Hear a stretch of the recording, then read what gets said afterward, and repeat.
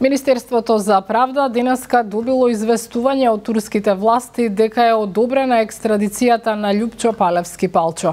Тој е прво осомничен во истрагата за грабнување и убиство на свиреп начин на малолетната Вања и на Панче Жежовски.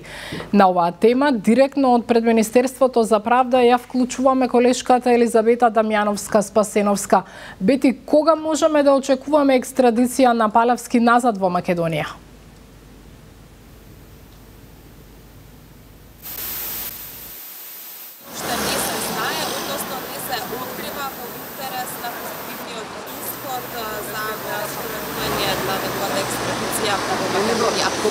Самиот министер за правда Кринар Луга непосредно пред ова вклучување во вистата потврди за каналска телевизија дека а, буквално сите процедури се завршени за спроведувањето на екстрадицијата на Лјупчо Палевски Палчо и дека а, она што а, се чека е а, се активностите за превземање на Палевски. А, тој во изјава за Канал 5 реше денес од Република Турција добивме одобрение за екстрадиција на лицето Липчо Палевски.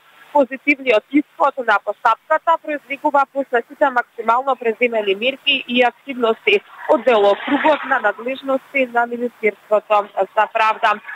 Тренер Луга исто така објасни дека испораката на Палевски ќе биде направена заеднички со властите во Турција, односно дека заеднички ќе се организира превозот, како што кажав и во и предмалку во интерес на, на позитивниот исход на испораката нема да се соопшти точниот датум кога Балевски ќе пристигне во Скопје, а по пристигнувањето на Скопскиот аеродром ќе биде спроведен во притвор од каде што ќе го чека судскиот процес.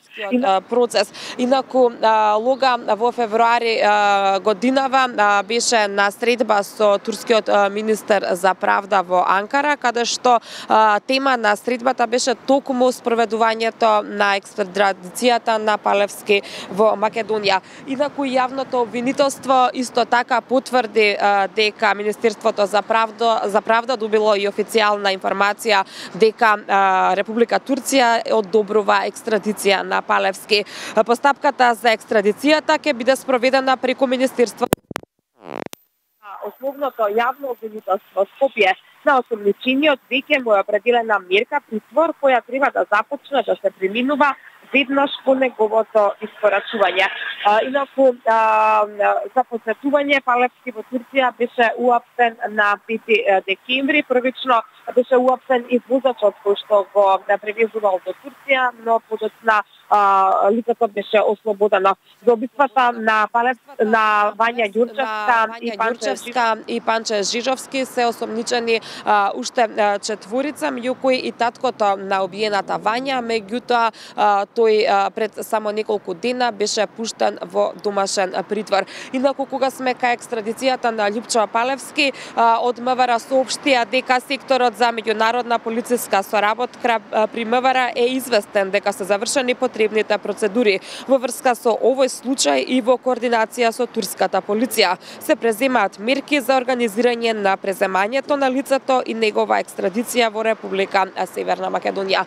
Ова е сообштението, како што кажав, од Министерството за внатрешни работи. А, ние ќе ја следиме оваа тема и секако ќе известуваме за процесот на екстрадиција, односно за денот кога Палевски ќе пристигне во Македонија. Уште пред самиот крај би спомнала дека се уште не се конкретно потврдени мотивите за убиствата на Вања Ѓурчевска и Панче Жижовски. Ти благодарам Елизабета Дамјановска Спасиновска со последната информација дека Турција ја одобри екстрадицијата на Љупчо Палевски Палчо.